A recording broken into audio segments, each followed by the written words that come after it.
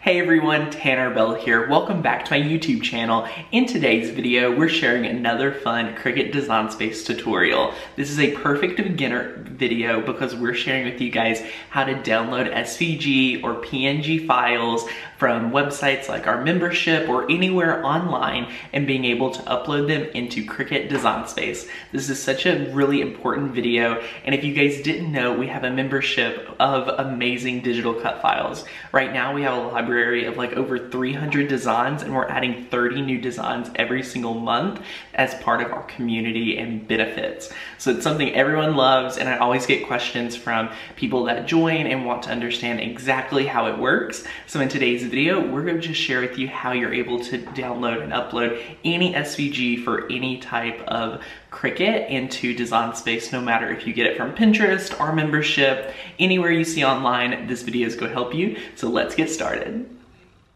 I love these files. And since we're already here, um, I'll go ahead and give you all a basic one-on-one -on -one tutorial on how to upload these into Cricut. So let's go to design.cricut.com and let's let this load. And this is the beautiful landing page. You can see some other projects we've been working on. You can click new project and let's go over to upload.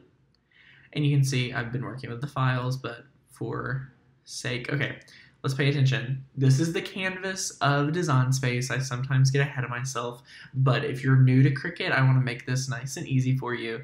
This is your canvas. This is where you import text, shapes, images, projects, etc.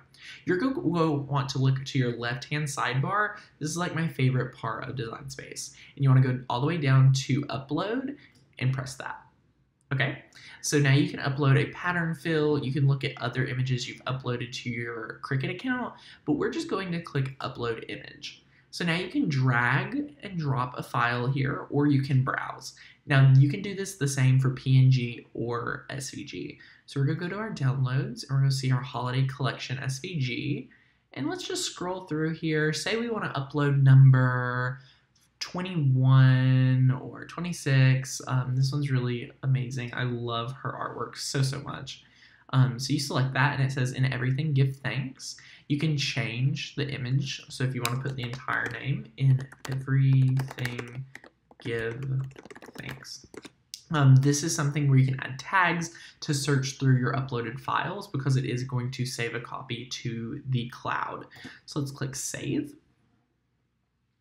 And now it's saving this to your recently uploaded images. So if we want to import this into the canvas, we want to select that and come over here and click insert image.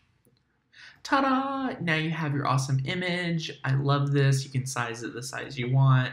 You can come over here and change it from black. You can change the color to orange. You can make this write instead of um, cut. All of these awesome things, super easy, um, you're able to do. If you want to do the washable fabric pen, if you want a silver metallic, seriously guys, the possibilities are truly endless. Um, but we'll just leave that just a cut. So anyway, guys, I hope this video helped you not only download your holiday collection, but also import it into Cricut. And this process is pretty much the same across the board. So if you have any questions, as always, hit me up. I will be happy to answer them. And I just want to take another moment and sincerely thank you guys for being so supportive of everything we do here. And I really appreciate it. So hope you guys have a great week and I'll chat with you soon. Bye.